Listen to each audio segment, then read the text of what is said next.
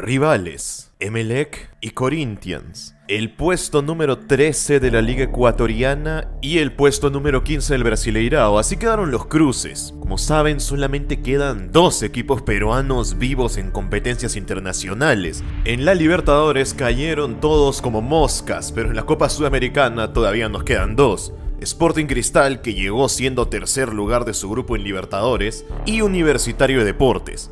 Los dos están yendo al playoff, también conocido como una especie de 16avos de final. Algo así como un repechaje, digamos, donde van a tener que jugar por un lugar en los octavos y los rivales ya se definieron. Emelec de Ecuador y Corinthians de Brasil. Cristal va contra Emelec y la U va contra Corinthians. Y aquí es donde llegamos a la parte importante. ¿Tienen chances de eliminar al equipo ecuatoriano y al equipo brasileño? ¿Cómo están estos equipos? ¿Es cierto que están muy mal como ha dicho mucha gente? Y sobre todo, cómo llegan a este encuentro, porque quedan solamente un par de semanitas para el partido. Vamos primero con Corinthians y con este partido que van a tener contra la U, porque tenemos algo que decir luego de que terminara el partido de Universitario contra Gimnasia. ¿Se acuerdan, no? Lo que pasó justo al final. Bueno, sanciones de Conmebol, era obvio que iban a sancionar. Al menos creo que no van a sancionar el estadio, pero lo que sí han sancionado son jugadores. Concretamente, hay tres jugadores de la U sancionados que no van a poder jugar ese partido con Corinthians, de los cuales creo solo uno es realmente importante. El primer sancionado obviamente es Carballo, porque fue uno de los protagonistas metiéndole ahí una patada por detrás a uno de los chicos del otro equipo. Con motivo, sin motivo, la cuestión es que eso a la Conmebol no le importa. La agresión ocurrió y la sanción llegó.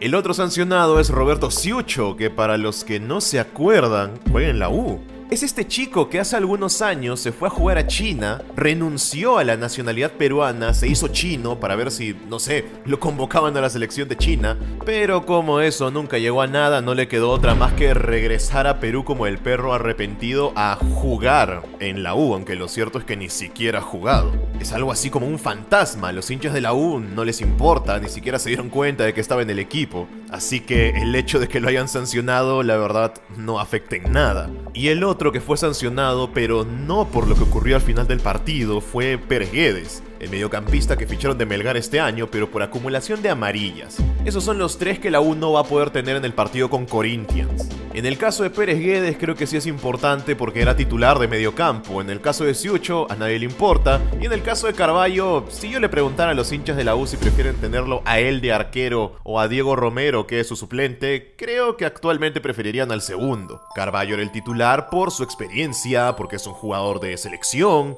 pero en la actualidad creo que el otro chico lo puede hacer muy bien. Eso es lo que pasa con la U, pero el rival que es Corinthians actualmente está en el puesto número 15 del Brasileirao. No tiene una gran temporada, la verdad. No es como el Corinthians de antes. Han bajado bastante el nivel. Esto ya lo están usando muchas personas como para desmeritar la copa o decir que la U va a jugar contra un rival bastante débil. Yo creo que esto, más que hablar mal de Corinthians, pues podría hablar mal de nosotros, porque estamos hablando del puesto 15 del Brasileirao y de la gran diferencia que hay entre la Liga de Brasil y la Liga Peruana, porque la U se supone que es uno de los equipos más fuertes de por aquí, y Corinthians actualmente no es uno de los más fuertes de Brasil, y aún así sabemos que el favorito es Corinthians. Algunos lo comparan con el Goiás, que fue el rival brasileño que tuvo la U en la fase de grupos. Bueno, el Goiás está en el puesto 17 en puestos de descenso y Corinthians está solo dos puestos más arriba. Tal vez la diferencia de nivel no sea tanta, pero todos sabemos que Corinthians no solo es más grande que el Goiás, sino que tiene más potencial. Es un rival más difícil. Además de que tienen jugadores más reconocidos. Tienen a Casio de arquero, tienen a Fabio Santos, a Renato Augusto, a Paulinho que jugó en el Barcelona. Si lo comparamos con la plantilla del Goiás, la del Corinthians es superior, aunque no lo hayan demostrado tanto en la liga brasileña. Aún así, siento que la U en este partido no vendría a ser el favorito, así como casi ningún equipo peruano es favorito contra ningún brasileño. A su favor tiene la U que el Corinthians viene en un mal momento, en sus últimos 5 partidos solamente ganaron 2, están muy irregulares. Tienen por ahí algunos jugadores de selección como Ángel Romero y Fabián Balbuena de la selección paraguaya, y otros no tan conocidos como Víctor Cantillo de Colombia o Bruno Méndez de Uruguay. El problema de Corinthians es que no han encontrado ese funcionamiento colectivo que tanto necesitan. El entrenador Luxemburgo, que ha entrenado a 800.000 equipos en Brasil, no ha dado todavía con ese equipo ideal para conseguir los resultados. La U tal vez podría aprovechar eso, pero todos somos conscientes de que no son los favoritos. En el caso de Sporting Cristal, ellos tienen como rival a un equipo que también viene de una liga mejor como es la liga ecuatoriana, y esto no creo que sea falta el respeto a nada, pero Emelec, a pesar de que es uno de los grandes de Ecuador, está pasando por épocas muy bajas. El primer lugar de la Liga de Ecuador es el Independiente del Valle, que indiscutiblemente es el mejor equipo del país, tienen 34 puntos, mientras que Emelec, que es un equipo histórico, están en el puesto 13 con 14 puntos, 20 puntos por debajo de Independiente del Valle. De los últimos 5 partidos solamente han ganado uno. Y a pesar de que me encantaría decir que Cristal tiene cierto favoritismo tal vez contra Emelec, viendo que la situación de Cristal es mejor en la liga peruana, la verdad es que la diferencia de nivel entre Ecuador y Perú a nivel local ha crecido mucho en los últimos años. La liga peruana se ha estancado y la liga de Ecuador no ha parado de crecer. De hecho, diría que en la actualidad podrían ser tranquilamente la tercera liga más fuerte de toda Conmebol, y sus equipos lo demuestran.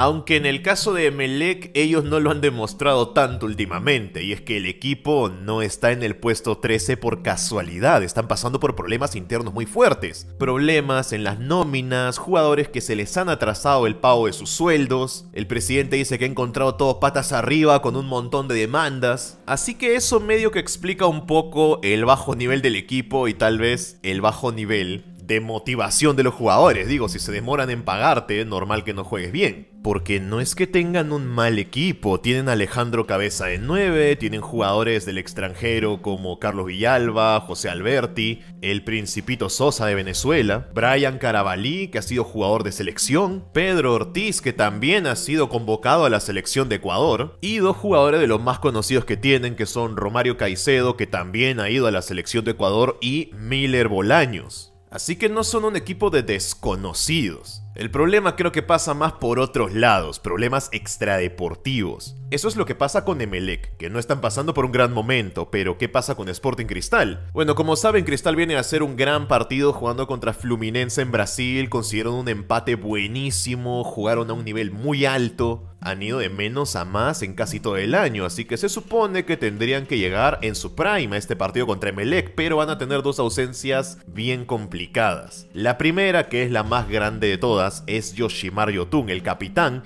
y jugador de selección, porque en el partido contra Fluminense recibió una tercera tarjeta amarilla y eso lo deja inhabilitado para jugar el siguiente partido que es contra Melec, y lo mismo pasa con Jesús Castillo, también convocado a la selección peruana, dos mediocampistas importantísimos para Cristal y sobre todo para el sistema de Thiago Núñez, especialmente Yotun. Yotun que cuando comenzó la temporada estaba en un nivel regular tirando para malo, pero en el último par de meses ha subido una barbaridad y por eso lo volvieron a llamar a la selección. Y no lo van a tener, para colmo es el capitán del equipo, o sea que es un golpe durísimo para Cristal. Y es un motivo por el cual yo siento que Cristal, al igual que la U, no es un favorito contra Emelec, sobre todo viendo la diferencia entre ambas ligas. Pero sí creo que Emelec, con todos los respetos y todas las comillas posibles, es un rival un poquito más accesible que Corinthians para la U. Sobre todo porque creo que Cristal juega mejor que la U. Y porque Emelec, si lo pusiéramos a jugar contra Corinthians, pues seguramente ganaría el Corinthians. Sumando esas dos cosas, que para mí Cristal está unos pasos por delante la U en nivel y que Corinthians me parece un rival más difícil, no tanto tampoco, que Emelec, me hace ver a Cristal con un poquito más de chance. Pero ambos parten desde la posición del no favorito, como casi todos los equipos peruanos, a menos que jueguen contra un equipo boliviano o venezolano.